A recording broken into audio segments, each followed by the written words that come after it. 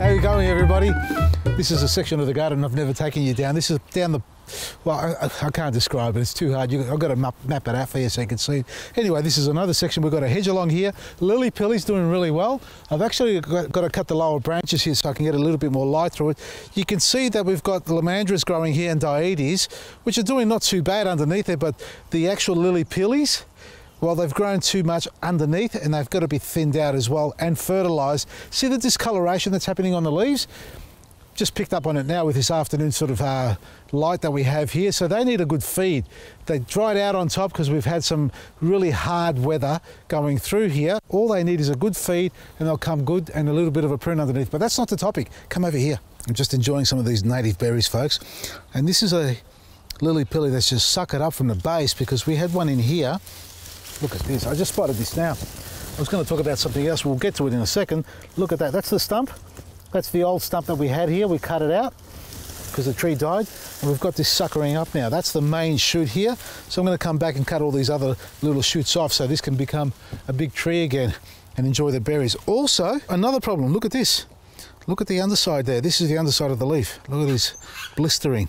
That's called psyllid and it's spelled with a P-S-Y-L-L-I-D. It's an insect, and that's the insect underneath there. Once upon a time, we used to spray this using a product that was systemic. It's been banned, and I'm glad it has been banned. So now all we can really do is use eco oil, eco neem, make your own chili garlic oil soap turmeric in a litre of water. Uh, we've said it a million times. Check out our previous videos and spray the underside or just cut it off. Trees are very tolerant to this. Well, tough. Uh, let's just let's put it that way. Uh, they'll they'll resist it, but if it gets really bad, prune it off and discard all the leaves. Don't put them in your compost because you won't kill it. So get rid of those, burn them, and the tree will come good again. And over here, folks, this is a little secluded pathway we have from the main drive into the little water feature down there, which I'm not going to show you at the moment, but what I want to show you here is the dietes. This time of the year, lots of plants have gone to seed, agapanthus, uh, dietes. Look at these seed pods here. See all these wonderful seed pods? Look at all these gorgeous seeds. Have a look at this.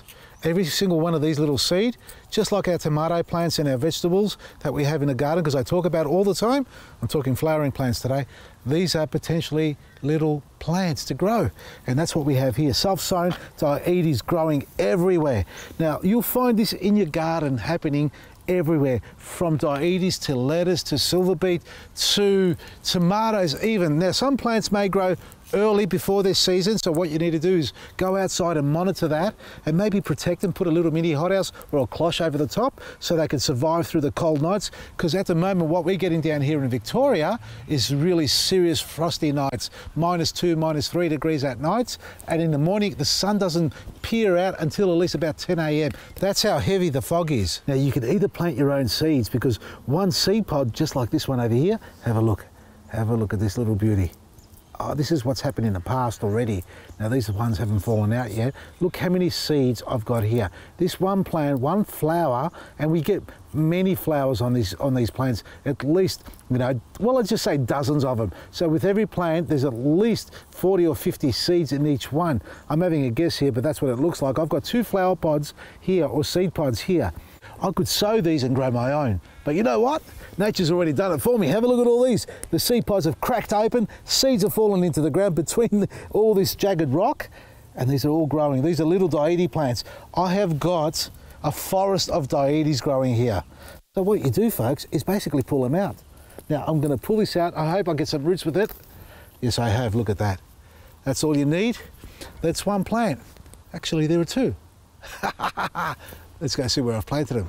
Here are some that I planted earlier under this Italian stone pine conifer. It's a beautiful tree and these will grow in the sun or the shade. I know they, they're almost classed as a weed folks. They multiply really quickly and as you saw earlier they can sprout up almost everywhere.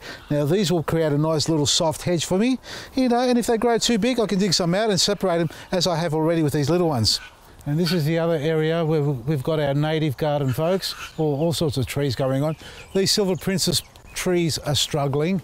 I've neglected this area and I can see, oh, look, I've got to do a bit of pruning on these, clean them up. They're not growing really well, but nevertheless, I still have completed the underplanting. We had some dietes here that died off as well. Well, uh, well when we acquired the property, they, these were missing. We've got dietes on either side, and since then I've dropped the irrigation. You can see that because this area was really struggling with dryness Now, hopefully they come good. I haven't had the irrigation on for too long. These plants, well, the other side where there's more moisture and more protection, they're doing a lot better. But nevertheless, I'm going to give these ones a go and see what happens. And again, separation of dietes and other plants that are alike that are self-sown in the ground you'll find that you'll find yourself in the garden when you find these little plants growing like that on their own, germinating. 99% of the time, they actually outperform any plant that you grow from seed yourself or you buy from a local garden centre. And that's no disrespect to the stores. The fact of the matter is that if the plant germinates on its own accord um, in an environment that you've been growing plants already previously, that will that's an indicator that tells you the plant is quite has adapted uh, adopted the environment, the microclimate, and the uh, soil conditions and everything that goes with it. So enjoy these little plants. You may like dietes, you may hate them, doesn't matter. For me, I've got so much land here, I can plant them anywhere I like. But for smaller spaces, obviously, if you've got perennial plants, look out for the seeds germinating on their own, and even your vegetable plants like your tomatoes, uh, silver beet, lettuce, and other, other plants alike, they'll be germinating anytime soon. It is still cold in Victoria, but other parts of Australia, I can assure you, if you pay close attention to your garden, you probably spot some little plants just like these ones popping out. Now, check out our website also for more information just like this and our magazines packed full of great gardening tips and recipes. If you're not a VIP already, subscribe to the magazine. You'll become a VIP. You'll enjoy four issues delivered to your door and up to 60% off every day throughout the whole year on every product on our website. In the meantime, enjoy our specials that we are currently running 65% off black grit and a secret discount, I think that's what they call it, on the website on all other products. Just check it all out. The secret code or coupon code is secret. From me, Vasili Maresi.